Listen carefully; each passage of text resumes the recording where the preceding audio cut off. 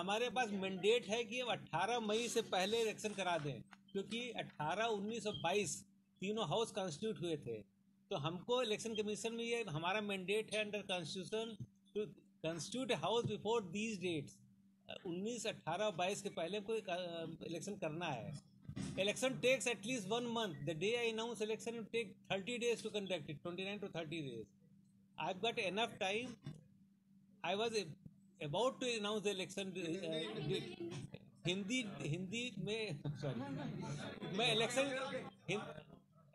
चुनाव की तिथियाँ को मैं आज आपके सामने रखने वाला था लेकिन अभी साढ़े चार बजे मेरे पास कम्युनिकेशन है which which talk about something which I need examination तो I am not declaring election sir Hindi में प्लीज़ सर सॉरी मैं हिंदी स्पीकिंग ही हूँ माफ़ी चाहता हूँ। माफ़ी चाहता हूँ। आज इलेक्शन के डेट में अनाउंस नहीं कर रहा हूँ।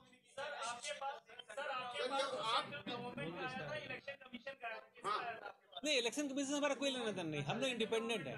सेंट्रल गवर्नमेंट एल जी जो भी। क्या बोला सेंट्रल बोलने तो दो यार।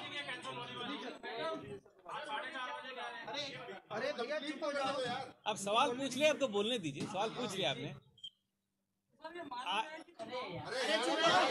नहीं पहले एक जवाब दे दे।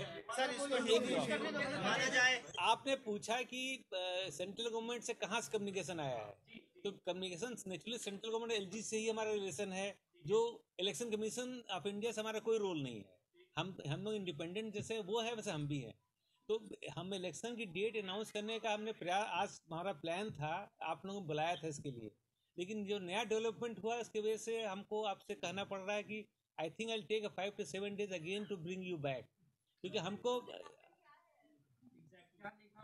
सर उन्होंने सर आपको सर ये बता दीजिए उन्होंने आपको आज तारीखों का ऐलान करने से क्यों रोका?